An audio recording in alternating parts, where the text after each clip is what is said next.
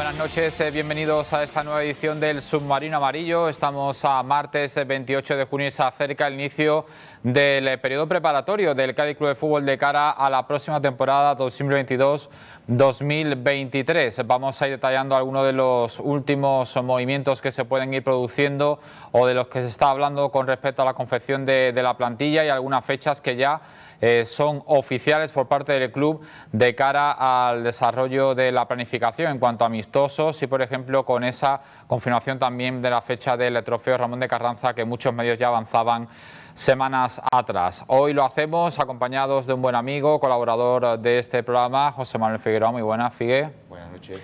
Muchas gracias, muy amable por acompañarnos. De momento, lo cierto, y lo estábamos comentando antes de comenzar el programa, Movimientos a cuenta gotas de lo que está significando el mercado, especialmente eh, el que nos interesa, que es el de la Liga Santander. Principalmente el Cádiz, ¿no? que vimos ya la temporada pasada que prácticamente se inició la, pretemporada y ya había muchos fichajes, ya habían llegado muchos jugadores, había muchos jugadores que habían ya fructificado y este año pues está la cosa más parada. También lo comentábamos, el tema de, los límites salariales, que están todos los equipos en primera pues todavía con el tema de los presupuestos intentando equilibrarlo y el Cádiz es de los pocos que, sí pueda cometer fichajes, pero está claro que, tampoco dentro de lo que es la primera división es un mercado complicado el del Cádiz, un equipo que siempre va a estar ahí en la pelea por, por descenso, entonces los, jugadores siempre suelen apurar hasta última hora para, para este tipo de equipos. Lo que está claro que, que la labor de la dirección deportiva tiene que ser importante porque tal y como vamos siguiendo, pues hay muchos puestos muy importantes que, de jugadores que bien terminan contrato o que están en la parrilla de salida, por lo tanto hay que hacer un equipo competitivo y no caer en los errores de temporadas pasadas.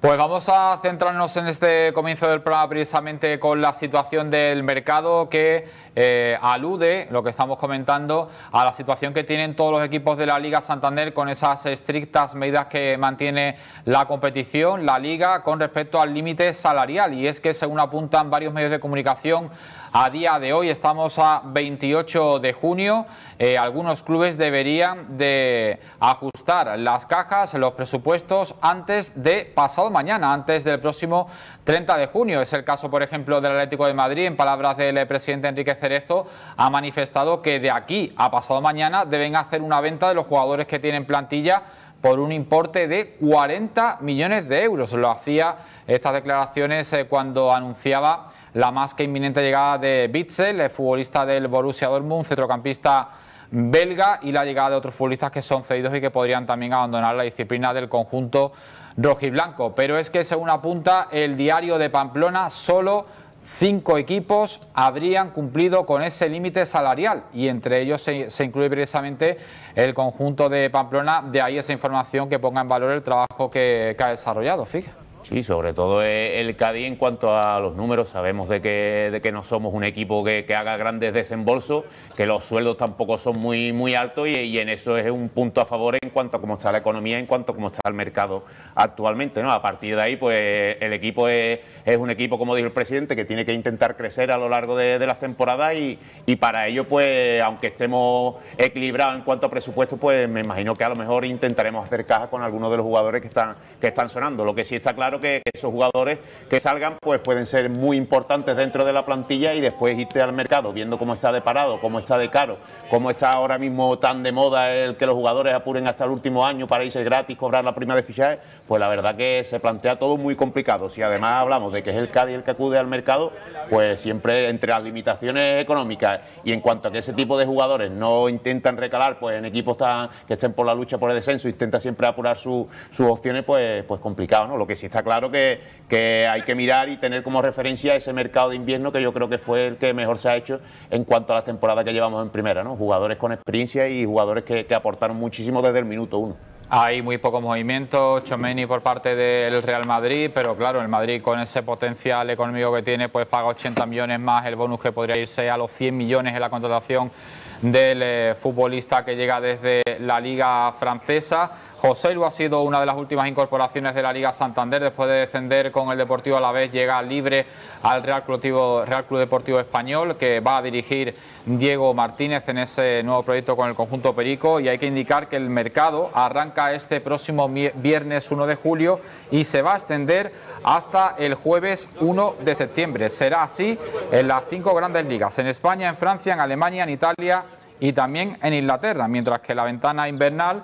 este año irá desde el lunes 2 de enero de 2023 hasta el 31 del mismo mes. Son algunas de las novedades con respecto al mercado. El mercado parado, eh, ahora vamos con nombres propios del Cádiz Club de Fútbol en cuanto a su plantilla se refiere, pero nos centramos a continuación también en la pretemporada ya hay fechas confirmadas. El primer amistoso, tal y como les habíamos adelantado, será frente al Barbate en el Estadio Municipal de Benalú, Casas Viejas. El Cádiz ya ha hecho oficial que se enfrentará al conjunto barbateño el viernes 15 de julio a partir de las siete y media de la tarde. Ya se ha convertido en un clásico, fíjate clásico del partido contra Barbate, suele ser también contra, contra Chiclana. Recuerdo también, no sé si fue contra Barbate, ese, gran gol que metió Osmaggi, que creo que le dio muchos puntos para, para que se quedara en la, en la primera plantilla. Y, y, lo que son los, partidos habituales, como tú dices, los, clásicos del Cádiz, para ir eh, cogiendo esa, ese ritmo de competición que, a partir de del próximo lunes pues ya empiezan los jugadores a llegar, a hacerse sus reconocimientos médicos y a ponerse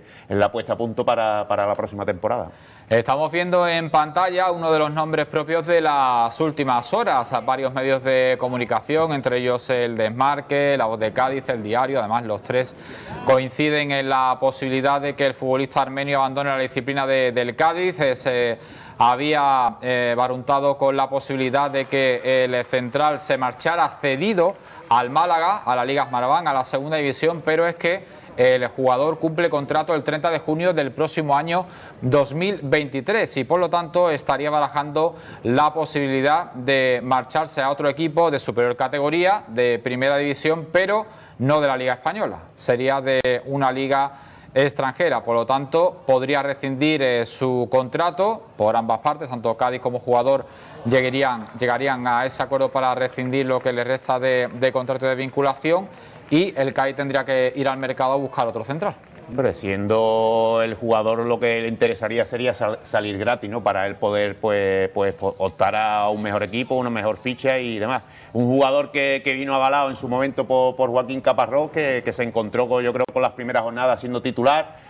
un defensa bastante rudo, pero que, dejó también algunos errores que no, nos costaron puntos. A partir de, yo creo ya de mitad de la primera vuelta ya empezó a salir del once habitual y, desde que llegó Sergio González pues contó bastante poco. ¿no? Creo que, no dio el rendimiento esperado, era una situación complicada, también venir de una liga como la Armenia, en la que tampoco es que haya muchísima calidad él se, basaba principalmente en la garra, la contundencia, que eso sí lo mostraba, pero quizás otros detalles tácticos pues, pues mostraba alguna deficiencia. ¿no? Yo creo que es un jugador que, que podía ser perfectamente prescindible y a partir de ahí, pues con Luis Hernández, con, con Fali, con Cala, que no sabemos en qué condiciones está por, por aquello de las rodillas, y se está hablando también mucho de que, de que hay mucha negociación avanzada con Chu, yo creo que podíamos tener ahí ese cuarteto que yo creo que incluso nos haría falta un, quinto más, un quinto central más. Otro de los nombres propios de este mercado, ya lo adelantamos antes de que, de que se abriera, es el del lateral, el Pacha Espino. En declaraciones eh, del presidente Manuel Vizca en una amplia entrevista que le realizaba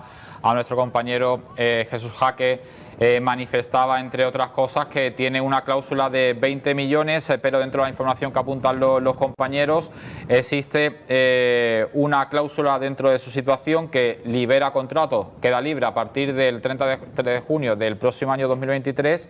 que en caso de que llegara un equipo y hiciera efectivo un pago de 7 millones de euros, podría marcharse. Ahora bien, ¿Qué equipo estaría en condiciones de poner 7 millones de euros por el lateral uruguayo a día de hoy? Y además con el hándicap de que el 50% se lo llevaría el club de procedencia, por lo tanto el Cádiz ingresaría, ingresaría 3, euros y, 3 eh, millones y medio. ¿no? El Boston River. Correcto, así que yo creo que es complicado que, un jugador como el Pacha pueda, pueda llegar a, a estas cifras Creo que también hay una cláusula que, eh, que si en caso de que viniera ese equipo con 7 millones y el Cádiz no quisiera venderlo, pues sí tendría que pagar el Cádiz 2 millones de euros. Por lo tanto, hay diferentes cláusulas que, a lo mejor se, nos escapan. Pero yo veo muy complicado que tal y como está el mercado, como están los equipos, pues, pues abonen esa, cantidad por, un jugador como el Pacha, que sí que está claro que ya tiene 30 años, sabemos de, todo lo que aporta, lo que está aportando un equipo como el Cádiz, pero también decía que tenía ansias de, de jugar en equipos de competiciones europeas, pero no sé yo hasta qué punto pues le pueda dar esa, esa calidad que, que la atesora. En la situación de liberación, como decía Figues, Pino se iría gratis el 30 de junio de 2023 después de los 2 millones pagados por el Cádiz y el abono de un salario muy elevado. La segunda opción que estamos comentando es que la entidad cadista acepte la oferta de 7 millones de euros en el caso de que la reciba y venda al jugador por esa cantidad. La misma de ese dinero sería para Boston River y la otra mitad, 3 millones y medio, sería para el Cádiz de Fútbol. Estaremos muy pendientes de los movimientos con respecto tanto de Pacha Espino como del futbolista que ven en pantalla. Eh, Aroyan, que podría haber despertado también el interés, el interés de algunos equipos que pugnan por clasificarse para Champions, el Slovan de Bratislava, campeón de la Liga Eslovaca, o el Maribor, ganador del torneo en Eslovenia. Son algunas de las opciones que apuntan eh, los oh, compañeros en el eh, día de hoy que pueden ser destino del eh, central Aroyan. El caso de, de Víctor Chus, también en el desmarque, nuestro compañero Jimmy Jiménez, Francisco José Jiménez, ha informado de que el deseo del central perteneciente al Real Madrid, cumple contrato también el próximo año, sería vestir la camiseta del Cádiz, Dice que incluso las negociaciones podrían estar bien encaminados o bien a que acabar aquí en calidad de, cedido, aunque claro, se libera el 30 de junio del próximo año con su contrato con el Real Madrid, o bien el Madrid quisiera hacer traspaso y caja. Incluso podría haber otra opción que sería la de que el Madrid lo renovara por X años más y volverlo a ceder. ¿no? Yo creo que el, Madrid, eh, en cuanto a la cantera, se, maneja muy bien y, es capaz de, a lo mejor de, cedértelo o de darte esa opción de compra, pero guardándose ellos un tanto porcentaje en una próxima venta. Eh, yo creo que es un jugador interesantísimo que, a raíz de la llegada sobre todo de Sergio González vimos todo el potencial que, atesora y que, el quedárnoslo una temporada más pues sería bastante importante para, para la forma de, entender y de jugar del equipo ahora en esta, en esta época de, Sergio González. Un jugador interesantísimo, muy joven, con muchísima proyección, que ya apuntan equipos de, la liga italiana y de la liga inglesa que también podrían estar detrás de él y yo creo que él está todavía, al ser tan joven, yo creo que él está apurando el tema de, querer jugar. ¿no? Yo creo que aquí en el, Cádiz pues, puede tener esa continuidad y ganarse quizás un equipo de mayor entidad con esos minutos jugados. En el eh, caso de la demarcación en el lateral izquierdo hemos hablado del Pacha Espino sobre esa posible eh, salida o no, o de ampliación de contrato. Veremos a ver lo que finalmente hace el Cádiz con el futbolista uruguayo que cumple contrato el 30 de junio del próximo año 2023. Está también la de el compañero en ese lateral, hablando de Santiago Arzamendia, que desde hace unas semanas ha hecho público eh, su deseo de abandonar la disciplina del Cádiz para contar con, con, más minutos. El representante, también a los compañeros del Marque, confirmaba que se está trabajando para dar una salida a Santiago Arzamendia de la plantilla de, del Cádiz. Y claro, ahora la gente pues lo está moviendo por todos los equipos, él no puede tener mercado y cartel, en este caso por Sudamérica, por la Liga Argentina, después de sonar independiente, ahora suena con fuerza el nombre de, la, de Lanús, pero es lo que les, les, venimos diciendo desde hace ya varias semanas, que el mercado funciona así, que al final los representantes ponen al jugador en la mesa de la dirección deportiva de muchos equipos y los nombres que suenan pues son muchísimos al final con respecto a lo que se queda en la plantilla de, los equipos, pues es un porcentaje ínfimo. Claro, y un jugador por el que el Cádiz apostó bastante fuerte, ¿no? Creo que fueron más de dos millones de euros lo que, lo que costó este jugador, que hemos visto que este año, por lo que sea, no ha contado con la confianza ni de un míster ni, ni de otro, y una banda izquierda que sigue siendo la posición fetiche del Cádiz, ¿no? Si estamos hablando de que el Pacha pudiera salir, Carzamendi no está, gusto, eh, no está a gusto y quisiera salir también, pues nos quedaríamos sin, sin lateral izquierdo, sin extremo izquierdo prácticamente y, llevamos varios años eh, desde que se fuera Alvarito García buscando a ese jugador, tanto por arriba como, por, como que hiciera las veces de Pacha Espino, para reforzar esa demarcación y, y, no terminamos de dar con él. Así que en caso de que saliera sobre todo Pacha Espino, tenemos ahí un punto bastante importante importante en cuanto a la hora de reforzarnos. Hablamos de otro futbolista que también ha sido protagonista en las últimas horas, Iván Alejo, que hizo un buen final de liga, especialmente desde la llegada de, Sergio, lo llenó de, moral, el futbolista aprovechó la confianza que le otorgó el eh, técnico, pero de ahí a que pueda marcharse a un equipo, por ejemplo, de la Premier League, como se ha especulado en las últimas horas, parece algo bastante complicado y la cláusula de rescisión es igualmente de 20 millones de euros. Cuesta creer que vaya a haber ningún equipo interesado en pagar la cláusula, que es lo que ha dicho Vizcaíno, que es tajante en ese sentido para que abandone la disciplina del Cádiz, pero incluso llegados a un entendimiento, dos millones y medio, tres millones como ha aparecido por ahí, parece también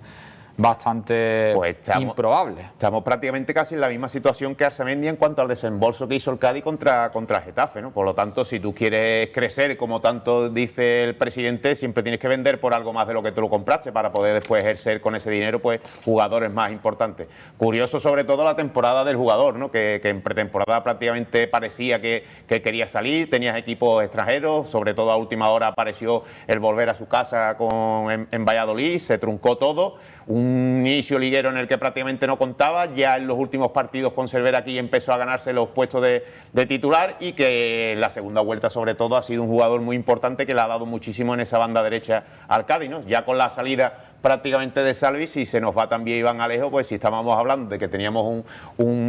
una cosita complicada en la banda izquierda, pues ya nos quedaríamos también huérfanos de la banda derecha y, el Cádiz son posiciones que después para encontrar jugadores que terminen dando ese rendimiento difícil y complicado.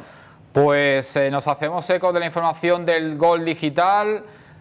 Se está acercando el 30 de junio, que sí, que llevamos meses diciendo o al menos dando oficialidad algo que todavía no lo es, que Salvi se marche al Rayo Vallecano. Es cierto que termina contrato, pero no termina a hacerse oficial, como decimos, esa marcha de Salvi al Rayo y podría complicarse en las últimas horas. Quién sabe si finalmente incluso podrían llegarse a sentar las partes para que vuelva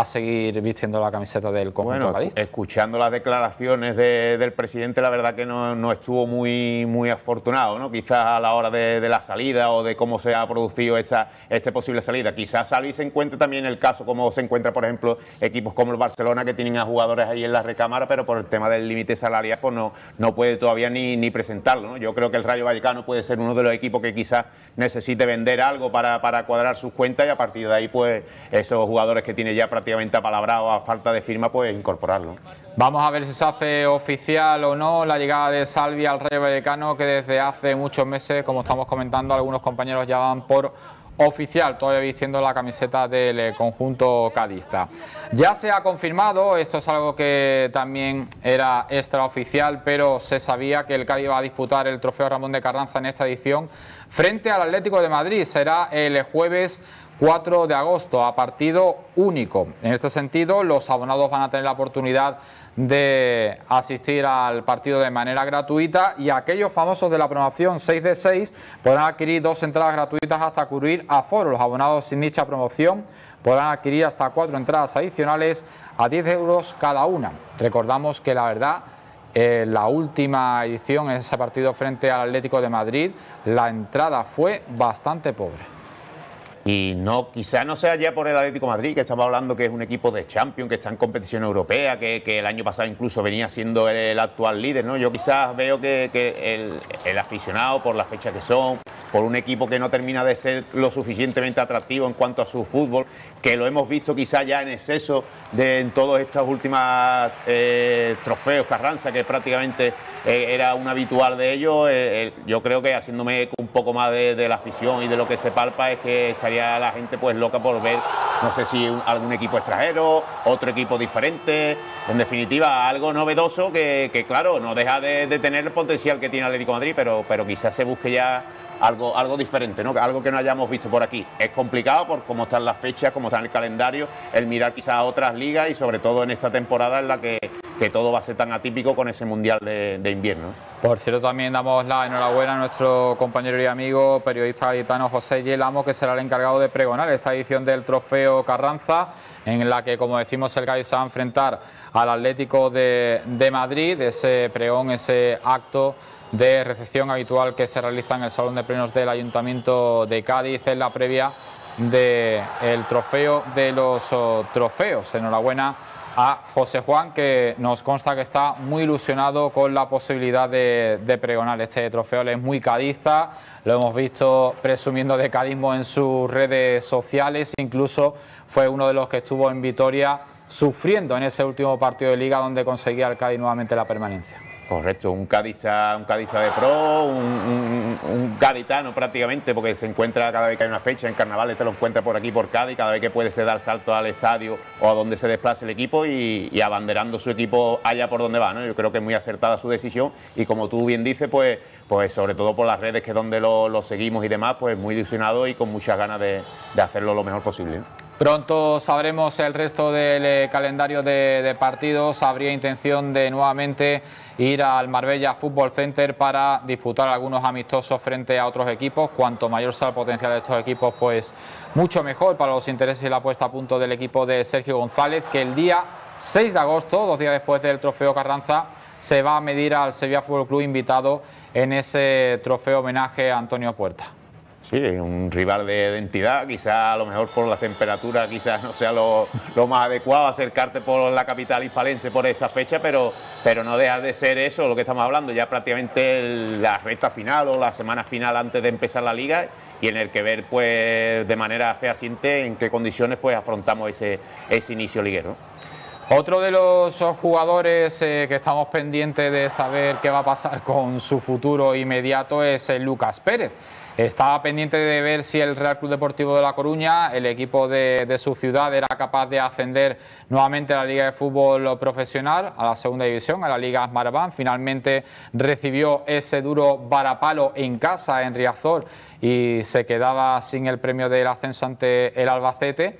Y no sé si es la intención o no de seguir, desde luego tiene vinculación después de firmar en el mercado invernal sobre la bocina el eh, pasado mes de enero Veremos a ver si sale o no sale o, continúa. La verdad que es un jugador, sobre todo en esta última época, de un poquito culo inquieto, ¿no? Y es un jugador que si no termina de estar a gusto, pues no es que te vaya a crear excesivo mal ambiente, pero sí que no termina de aportar toda la calidad que tiene. Y un jugador que ha costado lo que ha costado, que te ha dado o, ha sido partícipe de esta, de esta permanencia con, con sus goles, con su asistencia, eh, si no está a gusto, si él no quiere estar aquí, pues yo creo que lo principal a la hora de confeccionar una plantilla son de jugadores implicados. Si él no, está a gusto, pues intentar buscar la mejor salida posible dentro del desembolso que hizo el equipo pues a ver cómo, cómo, podemos, pues en la medida de lo posible, pues recuperar lo máximo posible también. Vamos a escuchar el balance que realizaba de la pasada temporada los medios oficiales del club.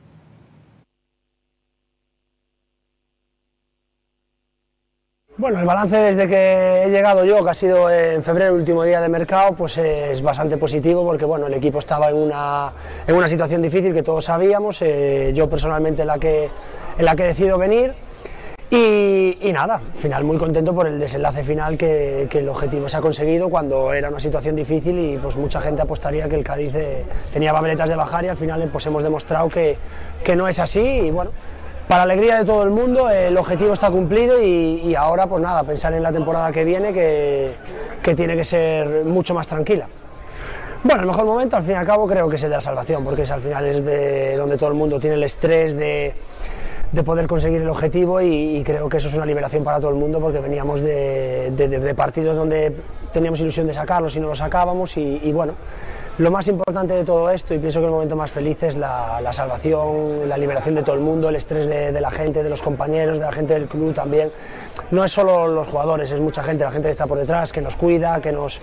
que nos está cada mañana animando y apoyando, y, bueno, y esa es la mayor satisfacción que, que tiene yo a nivel personal, creo que un futbolista. Bueno, a ver, el peor momento, yo no lo diría como peor momento, lo, diría en que frustración más bien, que es la de que hay partidos que merecíamos sacar más y no lo sacábamos porque el trabajo era bueno, los partidos eran buenos y,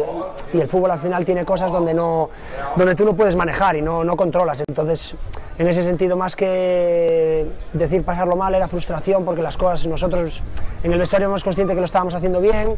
que las cosas no salían, que la dinámica del equipo era buena a la hora de, afrontar los partidos y, eso fue lo que, lo que yo pienso que era de lo peor. Pues que lo disfruten, que lo disfruten que no es fácil, que no es fácil, que las permanencias hay que saborearlas bien, que parece que son fáciles, pero nada de eso. Ha, costado 39 puntos. Creo que desde hace no sé cuántos años no se conseguía una permanencia con 39 puntos. Y bueno, y que al fin y al cabo se han ido equipos para abajo que llevan bastantes años en primera división y después baja uno que viene de, jugar cuartos o semifinales de, Europa League el año pasado y, con el nivel de plantilla que tiene, pues, pues que el fútbol no, es fácil. Entonces que lo disfruten y, que, sigan de la misma manera que, que estaban. Las valoraciones de Lucas Pérez veremos si continúa vinculado a la disciplina del Cádiz o si se marcha. Veremos a ver qué, sucede con el gallego. Lo que en definitiva es que empieza la, pretemporada en cuestión de cuatro o cinco días y hay mucha incertidumbre, ¿no? no solo ya por Lucas Pérez, sino por muchísimas demarcaciones en las que jugadores que están todavía pendientes de renovar, de salir, de entrar creo que es la época, pero que después el Cádiz, por, presupuesto y por, su historia, pues después le cuesta mucho trabajo encontrar ese tipo de jugadores que puedan suplir con, con plenas garantías a esos que puedan salir. Así que trabajo arduo el que le queda a la dirección deportiva y esperemos que, sean más aciertos que, los que se consiguieron el pasado verano. Pues fíjense, muchísimas gracias, muy amable, que con esto de que tenemos media horita, la verdad es que el tiempo pasa volando. Muchas gracias. Muchas gracias, Noche. Nosotros eh, volveremos mañana a partir de las 10 con más información del conjunto cadista. Como siempre, gracias por su atención y muy buenas noches.